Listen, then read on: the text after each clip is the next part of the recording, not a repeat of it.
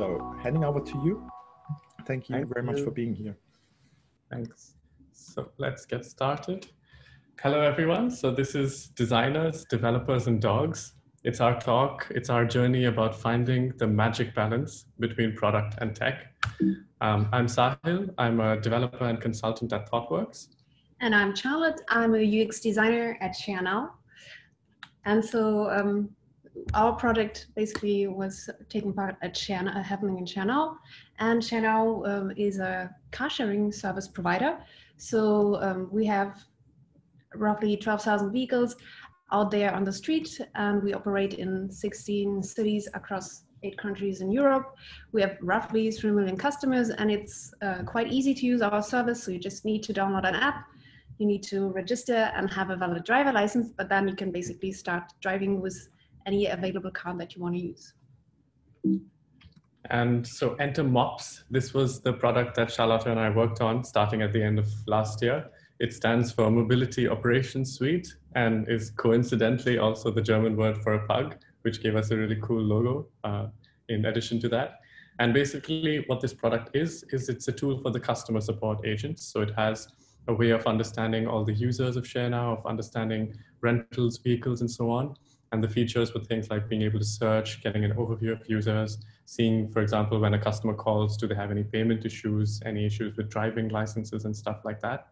And it was basically a replacement for an old tool that already existed. The old one was about, I think, 10 years old with a lot of legacy uh, technical issues. Uh, it was not really built with a lot of UX support. So you had, for example, some screens where just the data from SQL queries was in the UI. Uh, and the biggest, or one of the biggest problems with this tool was with all the different teams and different domains in ShareNow, you had like seven interdependent teams very tightly coupled with each other trying to develop on this and trying to release with it. And when we got into this project, it was almost at a point where no new changes could be made because it was just too difficult to make new changes. So for the new tool, we set ourselves some goals that we wanted to achieve. Um, that goes beyond just pure replacements. So one thing we wanted to achieve was to reduce the call time, because obviously for us as a company, the agent's time is money. So this is something where we saw improve opportunities to save costs, but also um, that would increase the customer experience if we manage to resolve their issues just quicker. And the second thing we wanted to do was just simplify the entire development of this very central tool. We wanted to decouple all those teams and be able to release stuff independently that was related to their domains rather than, rather than being coupled to this very slow release cycle with a lot of alignment needed. So here we came up with some uh, micro frontends approach for the foundation of the tool, and we leveraged the existing component library, the existing design system, uh, to make this much easier to develop and have a consistent UX across the tool. And another goal was to not just replicate exactly the same functionality as the old tool would include, but um, try to really uh, enable the agents to support even more problems of the customers, to really give them all the data that is available within our different systems and give them all the actions they could potentially take on the car, but also on the customer status to really make sure they are enabled to provide the best support that is possible. And then finally, with the technical improvements and the product improvements, we wanted to shorten the lead times. So we had noticed that there were already quite a few things that used to keep coming up, you know, small process changes, some new features that are needed every time something changes in the core product. And mostly this tool in the past wasn't able to react quickly enough to them. So with the new technical improvements and with the new way we were envisioning this product, we wanted to be more flexible about how quickly we could make those changes happen and provide a better customer support experience in the end. So, and we believe we were actually quite successful with our approach because we managed to launch basically in time. So after only four and a half months, we had enough functionality that we feel confident, felt confident that this is already meaningful enough to be used by our agents in their daily work. So this was rolled out to a small chunk of our user group, so 20 people, after only four and a half months. And the whole functionality was, oh, that uh, functionality was then rolled out to the whole group after six months. So for us, that felt pretty quick. Um, also on the adoption, we saw good numbers, like five of those dependent teams already integrated within that new approach and i mean completely proactively so we didn't push anybody so they just um, moved uh, voluntary because the new micro frontend approach was really handy for them.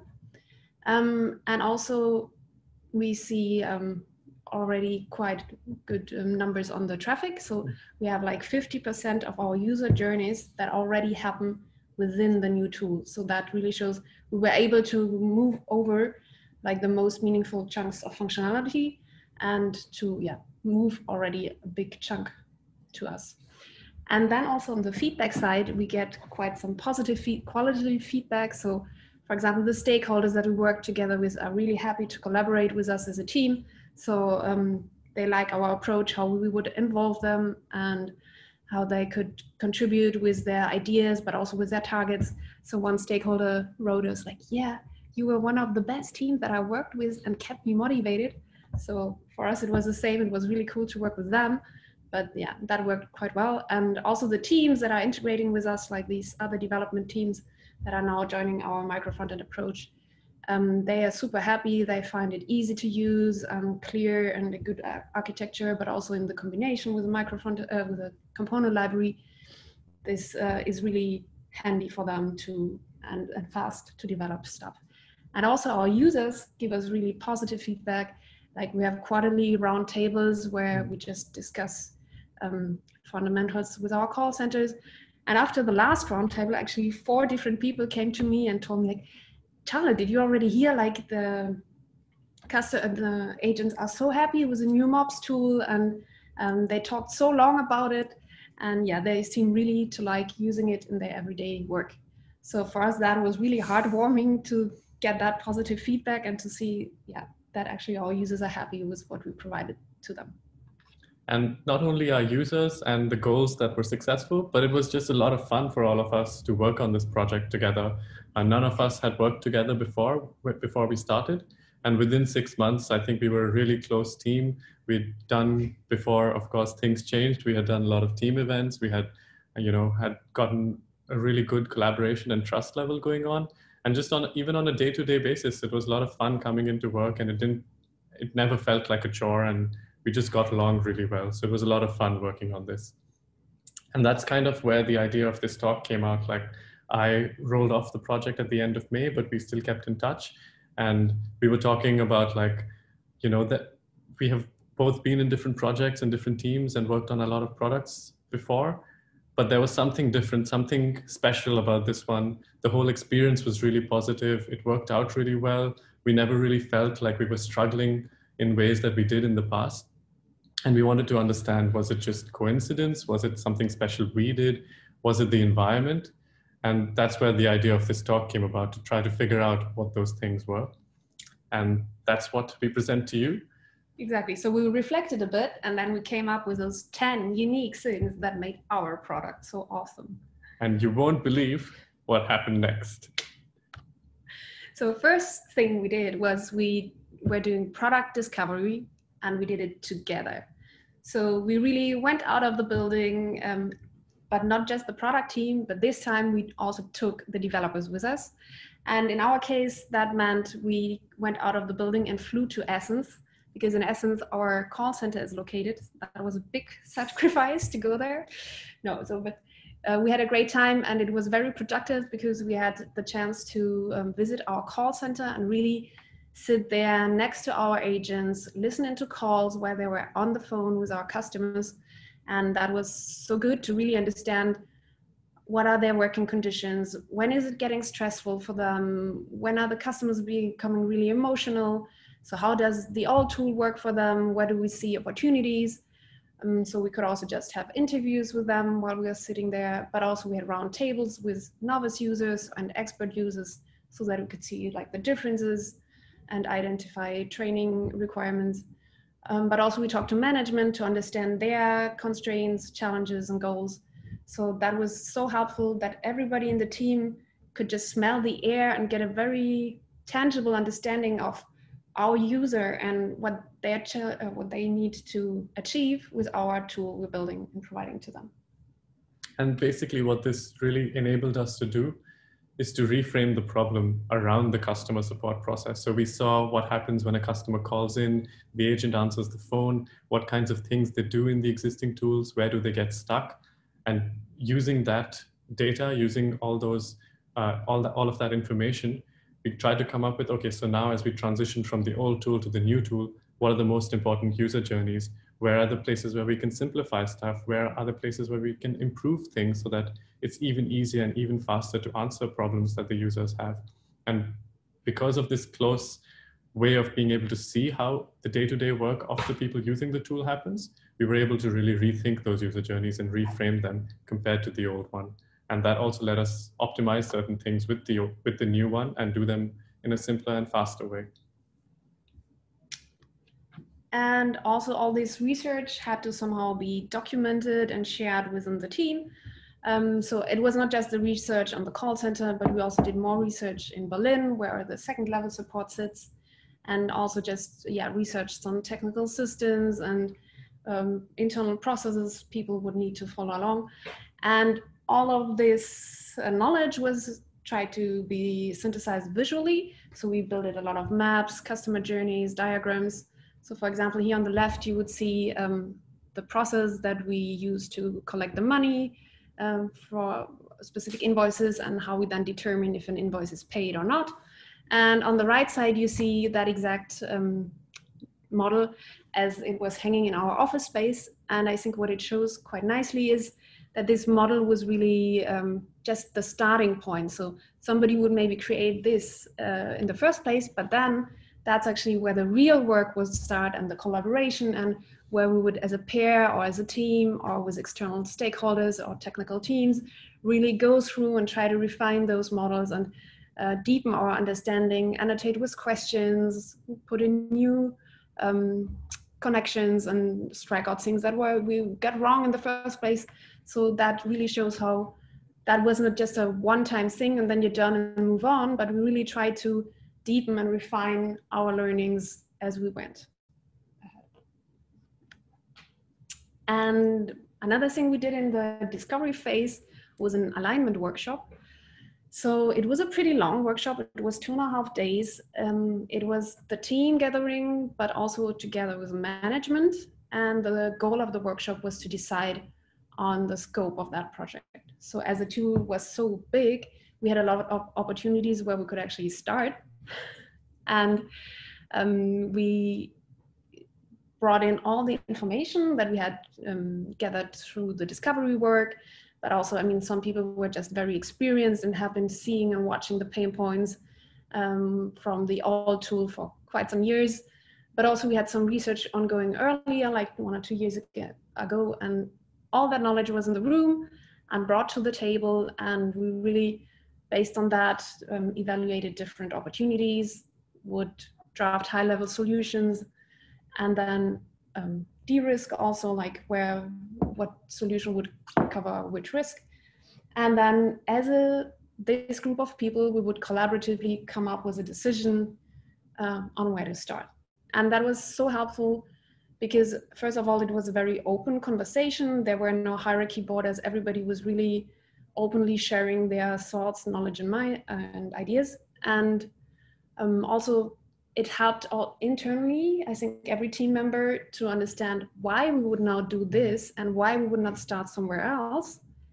But also it was really great to see how management was involved and committed and how they spent like this long amount of time with us to find the good solution and the good scope where would be more uh, the most where we would have the most effect and to also see them really being involved in those kind of collaborative exercises and um, yeah, handling on an eye level these discussions. And I think that really helped the whole team and set the stage for everything that was coming afterwards because the management was really leading by example in that case. So we figured out the product, we figured out what we were going to build. The next thing was to set up our team. And here we felt we did something really well. So in the teams that we had been in the past and many of the teams around us in ShareNow, the setup was something like this, where you have a bunch of developers a product owner. Maybe if you're lucky, you have a UX person shared usually uh, most of the time. And the downside of this approach was while there was a lot of high focus on solving the technical problems, so you got really good technical solutions, there was just not enough you know, capacity to solve or to, to understand the user problems rather, to, to do the research, to do the validation, to regularly talk to the users. There just wasn't enough effort spent or enough capacity to, to do those things. In our team, we kind of got lucky in the way we set it up, but we found that was really good that we did it that way. We had six developers, a mixture of front end, back end, and full stack developers. But then we had two UX uh, people on it. We had one product owner and we had a business analyst. And with this approach, we felt what was really good was we had enough resources to do the development work, but also to do the research work, the user research, to, to do those experiments, to see, okay, what are the ways in which we can solve problems for the user in a better way.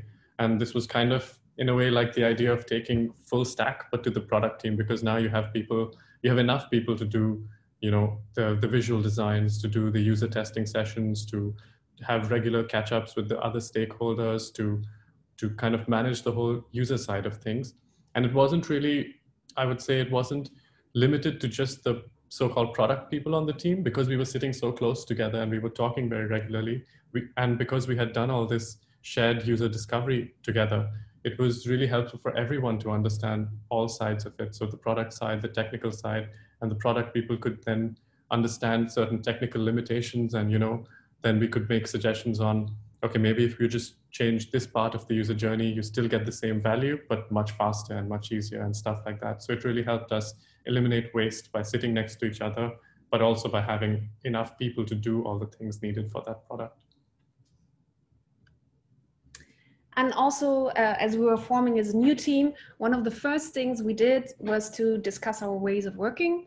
So we uh, finalized, or we um, agreed on which kind of meetings we want to have, in which cadences, what practices we want to use, like Scrum or Kanban or estimates, no estimates, but also uh, decide on our travel schedules because not everybody was located in Berlin where the core of the team was sitting. So we agreed on how much time this team would really want to spend together on site and how much time people could just uh, decide individually where that would be. Uh, and also we did an exercise or we uh, put some effort into clarifying our roles and responsibilities, and that was extremely helpful. Also, to do that really right at the beginning before anything already is being tried out, or maybe um, not everybody covers the right um, expectations. So, in that exercise, we just gathered together the group, and everybody would bring the expectations he would have towards his own role, but also toward all the other roles in the team and that was so cool because it was really open. Like you could just bring up everything you would be interested in. Like of course you have probably some core skills that are associated with your role but then you might have some secondary skills that are just um, very individual from person to person. And that would really show quickly where the main focuses would lie but also where there would be options for collaborations because maybe uh, there is an overlap between the disciplines and two people might want to work on those topics together. So it helped us really to clarify, okay, where is really my responsibility to drive topics forwards, but also where should I maybe pair up with somebody because we would just share this topic together.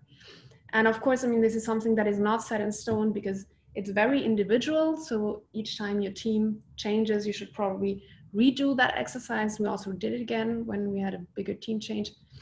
And yeah, I think it really helped us to open up and look at okay, what is possible? Which setup could we do in that group of people? And I think that's always very different, and especially if people are just open to focus more on their skills rather than on their role. So the fifth thing we did, so we had done the initial product discovery, we had come up with the product, but we wanted to have more continuous feedback loops with the users. We wanted to understand them as we were building and kind of revalidate the approaches we were, we were taking even with the initial setup. Um, unfortunately, we didn't have a lot of data from the old tool we were replacing. It didn't really have any analytics. Um, but what we set up instead was just direct communication. So we again went down to interview the users. We did roundtables, like Charlotte mentioned. We also sent out surveys to understand certain patterns, certain behaviors. And we also repeated the field visits that we we found that the first one was really valuable. So we thought we would do it again. And again, we got some new insights from that. We were able to see, okay, we've made some ideas, some experiments. Is that actually going to work for the initial rollout or is it something for the future? And it helped us revalidate those ideas. And then as we started to roll out to, to the users, we set up some feedback channels uh, on Slack. We had certain channels where people could reach us and ask questions. We had places where they could, you know, inform us if certain things were not working for them or, you know, just kind of have some understanding of the people who are also developing this product on a continuous way. Um, and also we tried to build in feedback cycles as we were rolling out our software. So not to just do a big bang rollout and then everybody sits there with the functionality, but to really start small and just roll out to 20 people and then get a close um, communication with them and really, uh, for example, we did something we called first look sessions. So when they just get the new, uh, the access to the new tool, we would on the same day or the next day uh, have a session with the agents where we'd go through them, through through it with them, and just get their first impressions to understand. Okay, which of the concepts are easy to grasp, what is intuitively working, but also where do we maybe need to rework or where's functionality still missing until we can roll it out. And I mean, that process really was ongoing. So they were in constant communication when they did not understand things or still had trouble. Mm. And then we also did finally implement Google Analytics. And I mean, that's sounds like a very basic thing. And obviously also we uh, just did a very basic implementation, but I mean, that was just a dramatic change for us in uh, the quality of data we could have to take our decisions. So that was just extremely helpful to be able to now really see like, how is the traffic shifting? So we had the chance to on, not only implement it in the old tool and the new tool, but also in the old. So we could really see how the traffic was moving from the old tool to the new tool. We could see where the biggest functionalities would live um, and so where we should focus our effort on and put priority on to really move the most meaningful things out of the old tool. So with this product and with this tool that we were rebuilding, we kind of took on a bit of risk, right? So we had this old product that was a legacy product. It had its own issues, but it had been in production and was in active use by quite a few users. And we wanted to replace the whole thing and we wanted to make some technical improvements and product improvements. So what we did was we actively tried to come up with the various product and technical risks that we were dealing with and then try to find ways to de-risk them and try to de-risk them sooner rather than later. So one of the things we did was come up with a transition strategy to keep the, the construction side slow. So try to see, okay, what are the first few user journeys that we can port over to the new tool that make a lot of sense? Or what are the things what that we can do to prevent, for example, users going back and forth between the two tools, because that would be quite a bad experience for them. And then from a technical point of view, um, we were trying, as I said, this micro front-end approach, um, putting in the component library, also certain backend things that we wanted to do around the data of the system. And what we did here was we took the initial user journeys that we had come up with and sliced them really thin. So they were kind of very simple user journeys. But then when we implemented them, it was kind of in a way like a vertical slice. So there was real data, real integration with all the services that already existed. And what this gave us was you know, from a user value point of view at the end, not much because I think the first one was something like a search bar with a button.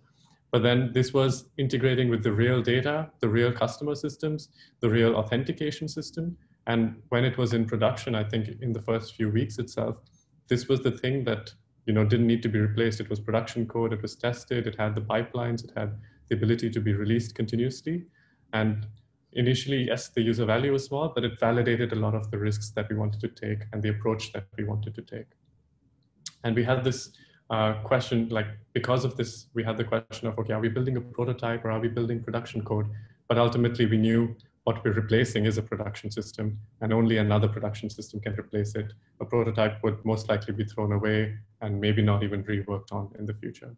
So this de-risking approach from a product and technical point of view that was quite a good thing that we did it in the beginning rather than at the end when it's time to release it.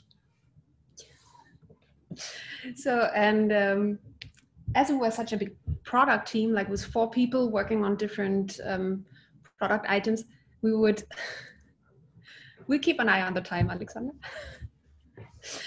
we um, felt the need to bring a little bit more structure into this process and who would work on what and bring more transparency in because we lost a bit track like what is the next item with priority um, and I think it was not as elaborated as a dual, tr dual track that Adriana was presenting earlier, but at least we tried to bring in a process and it was quite pragmatic and hands-on. But so what we did is we created like experiment cards for every idea we had where we saw an opportunity. That was just a quick visualization of the idea, a little area for value estimation and some learnings. And then we had a Kanban board, which was actually also a physical board um, where we would have five columns like to be validated, invalidation, to do analysis and design and backlog. So ideas would move into validation. There we would just uh, talk to stakeholders, get their opinion, talk to end users, look into data, run little experiments. And after that, we would decide if we drop it or if we proceed with it. So then it would move into the to-do column. Some items also did not need validation because it was just clear we needed. Um, then the to-do column would be reprioritized and then it would move into analysis and design. Here we would just gather all the details that would be required to be confident that this thing can be now developed um, as production code by developers or pairs uh, of developers and designers. And then if we were at that point, it would move into the backlog and then into the production backlog. So that was another Jira board. And that was super helpful to walk through the stakeholders, as also Adriana already mentioned that for us, uh, yeah, we just had a full backlog visualized on our wall with visual ideas. So we could just quickly talk people through whether it's stakeholders or external technical teams uh, or management. And, but also inside the um, team that was helpful to make this really more transparent and to communicate also with the devs that are naturally a bit less involved and to really be encouraged to involve them earlier uh, on the left side of the process. And another thing we did, we took this idea, so we had some familiarity with pair programming, but we took it and scaled it up to basically pairing with all the roles. So of course you had developers pairing with developers, but you also had designers pairing with designers. You had developers pairing with the BA, you had the POs and designers pairing, and just this mix of everyone kind of pairing on different kinds of things at different stages for for different tasks. But it helped us to kind of you know different roles and different people to focus on a task and see from the same thing from different perspectives and then we could kind of gain a better understanding and build better solutions and also kind of validate sometimes like maybe you don't need a certain thing and then you just talk to somebody because they're sitting right next to you and do it much faster. And that way we also when it came to onboard more people we could share the knowledge better we could validate our thinking better. And you know in some way we're still pairing so i think it worked out pretty well. And another thing that felt quite special in that team uh, was something that we call like no mental borders.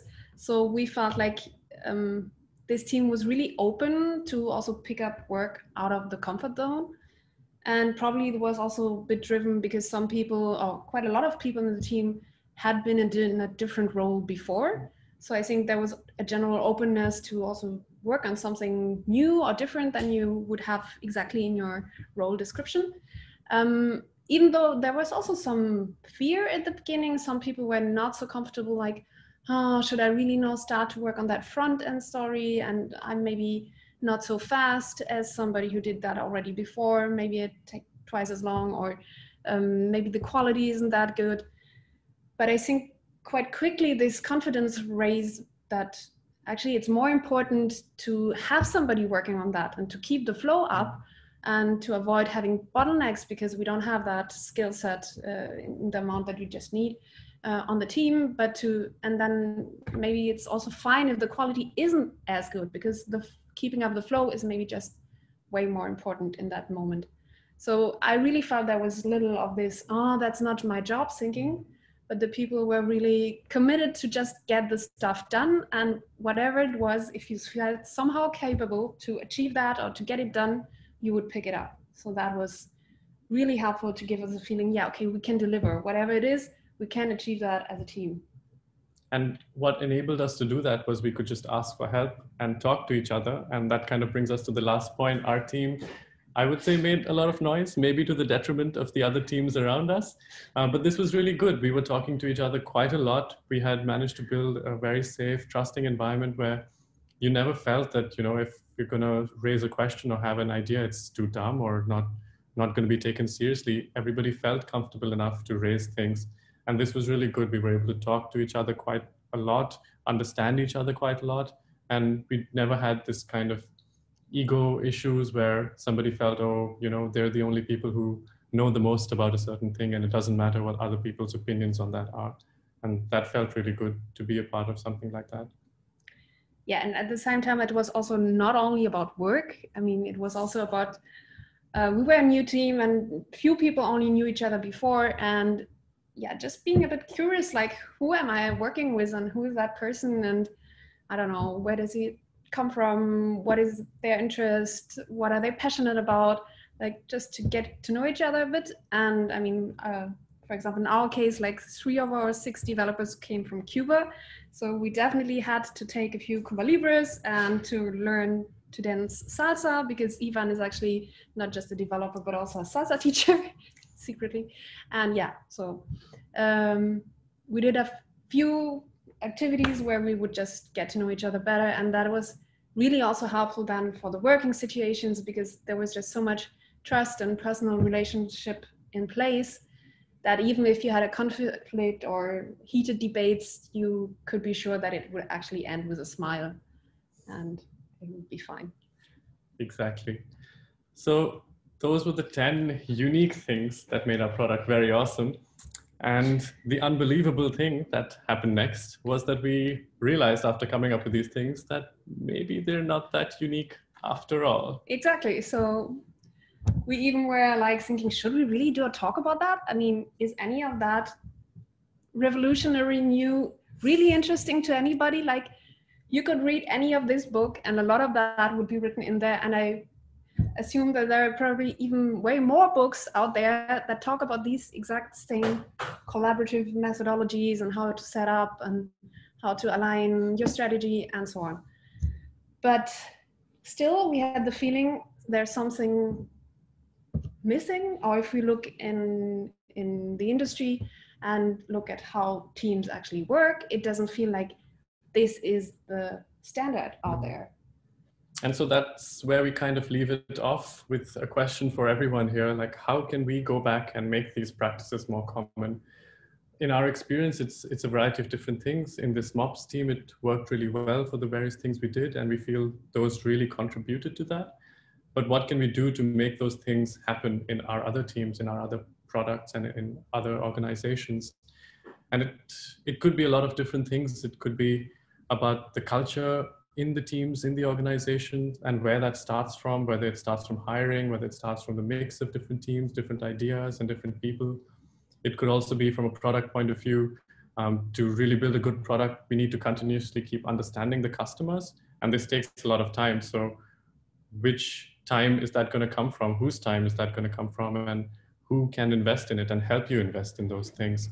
And similarly, when you move from this idea of project based thinking to product based thinking, the team structure changes, maybe the organization structure also changes, and then what kind of skills and competencies do we need to invest in to, to kind of promote them and make it easier to develop this way of thinking?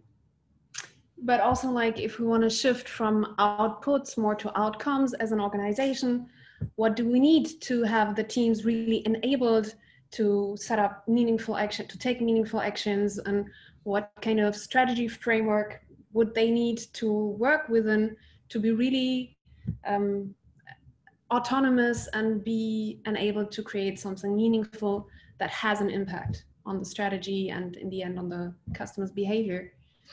And also the question around how to deliver or how to keep up flow and by that deliver value versus um, utilization is something where we feel currently there's quite often a big, big focus on this velocity, like keeping the velocity of the developers up and really getting a lot of tickets done and having the utilization around, I don't know, ideally 100% of the developers.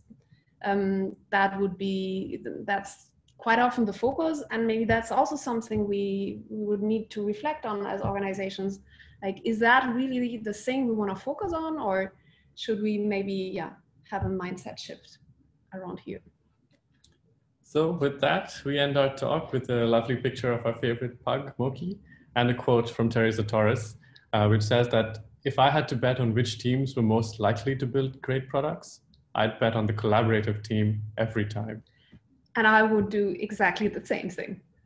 All right, thank you. And we'll take questions now. Thank you very much.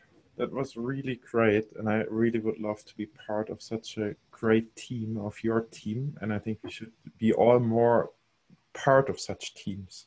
And that would be really, really great. So there are a couple of questions coming in right now. And I think the first one, which is on top of my mind, would be like, how would you start like with such collaboration like where where where's the beginning point of that one which you see as a foundation so i think it's a few different things for us the collaboration really helped with the setup of the team because we had a wide variety of roles and competencies and skills in the team and so because of sitting closely and having you know kind of not a one-sided team where it was really development focused or really product focused. We kind of had a good balance there, and we were able to then have more conversations around those topics. Those topics became more common um, for developers to understand the products or the product people to understand developers. And I think in the end, what is collaboration? It's really about trusting in the people around you and thinking from their point of view, right? And that comes from the conversations, that comes from spending time together, from understanding that the other person is also thinking from maybe a different but equally valid point of view and appreciating that. But what I really believe makes a big difference is the start. So really invest in that start, mm-hmm. like in those kickoffs, in those uh, alignment workshop, for example, to to really have the right mindset in that room already. And also, for example, that roles and expectation exercise mm-hmm. that we really did that quite at the beginning. So I've also seen that happening, but then being postponed and postponed for four weeks or maybe happening only after six weeks. And that's just too late. Really try to start at the beginning so that everybody gets in that mode right from the beginning. So really invest for your team in your team when you when you start off in the team, yeah. and also what I took away is like just listening to each other and like the thoughts you have in there. I think you haven't mentioned it, but you put it out now, and I think it's not natural that we really take the time and listen to each other where we are. Connected to that, maybe a little bit. Somebody asked, like, what's your opinion on Zalando's like the flexible teams? Like, how how does it align or contradict with with this team bonding? Uh, example or things what you described what happened in yeah actually we were discussing that before it and i mean what i would think i believe if you have a kind of um, a bigger bit bigger than the atoms like maybe two people or two three four people nah, like i mean that you don't shift always everything individually but have like one pair that is really mm. working great together and that is already in such a collaborative mood or mode then you can easily just onboard also more people to that core group. So I think if you make sure that there are a few um, uh, pieces that work already in that mode and that you don't always destroy those, but keep them alive and bring them in each flexible team, I could imagine that this actually would work. And I think once you kind of develop a shared culture it also doesn't take that long because we were in the same team for only six months and we were already working pretty well from the first you know month or first few weeks. So i think even with this flexible teams model you don't need a lot to spend a really long period of time to understand all the people around you. Once you kind of have certain uh, a kind of certain base for everything i think this can scale out pretty well and then you know you get to know more people you get to work in different teams and i, I see a lot of benefit of that Nice.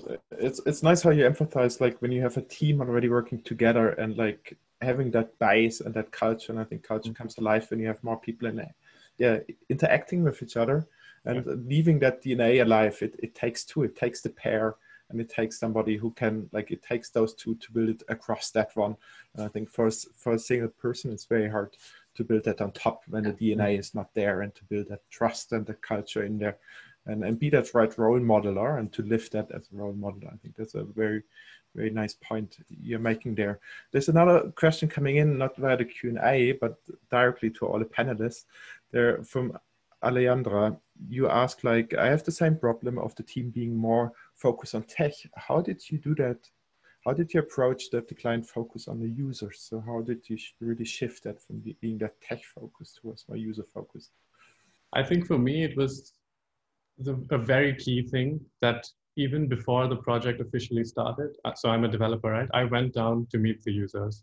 And it sounds like such a simple thing. It sounds like maybe even a stupid thing, but I think it has a huge impact when you can sit with the people who are actually going to use the product and see how they use it.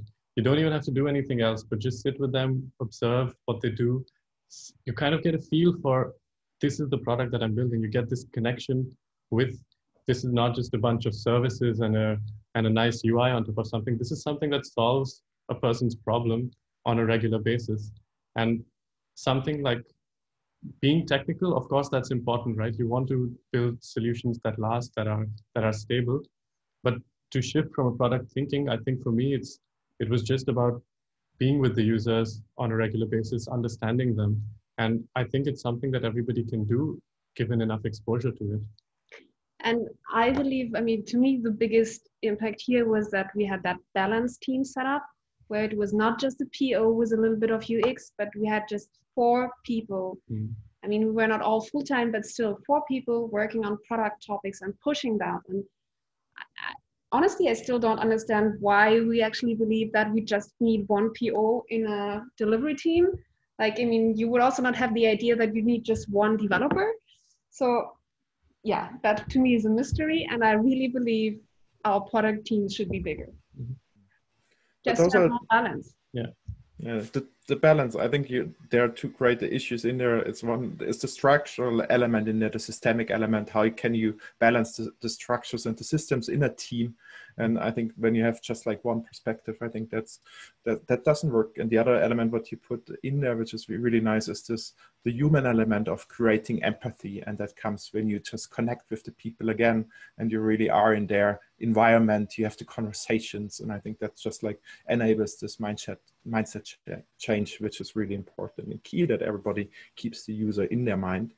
And that goes beyond seeing it on paper just hearing about that one Maybe we have like time for one more question before we move to the next uh, presentation. Uh, the one in there, which is quite interesting, is there like, do you have any ideas how you would recreate that experience now in this remote setting when you're like, it's not based on experience, but maybe you can just think about like how, how can you create that safe space, that collaboration, that learning, that engaging with the users when everybody just sits at home. Mm. Yeah, I mean, we we still do usability tests, mm. and I mean, the crazy thing is like our call center in Essen is also shut down, so they are all also working from home. So it's definitely harder to get the full picture, definitely. And I mean, probably you would just need to invest more to get, yeah, that density of information. But yeah, I mean, it's it's still possible to talk to them and to watch them work, um, even though remote. So yeah, I mean, we also transitioned to a remote setup in the middle of the team. And I think we didn't really have a decrease in those activities that we were doing before. We still kept pairing, we still had conversations across roles. And I think the remote setup, of course, makes the social aspect of things much more difficult. Um, but having that culture is not gone, I think, with the remote setup. Yeah but still i mean we're here today yeah face to face so that shows that we actually prefer even the real real world. Yeah. That's nice. You're there in person, and even like one of your teammates just wrote in the chat as well that it was one of the best teams she participated in ever. So, and she really misses laughing with you. So that really, those bonds and that collaboration and that understanding, like, uh, yeah, transcendence beyond the, the real space into the virtual as well. Very nice. Thank you for being here. Thank you for joining that Thank conversation and sharing your experiences.